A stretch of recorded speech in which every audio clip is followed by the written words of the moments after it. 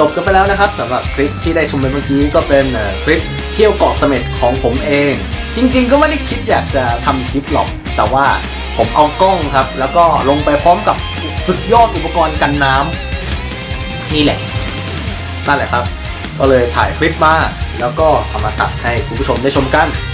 ถ้าชอบคลิปอย่างนี้อย่าลืมกด subscribe ไลค์แชร์เพื่อเป็นกำลังใจให้ด้วยนะครับ แล้วพบกันคลิปหน้า คลิปนี้สวัสดีครับ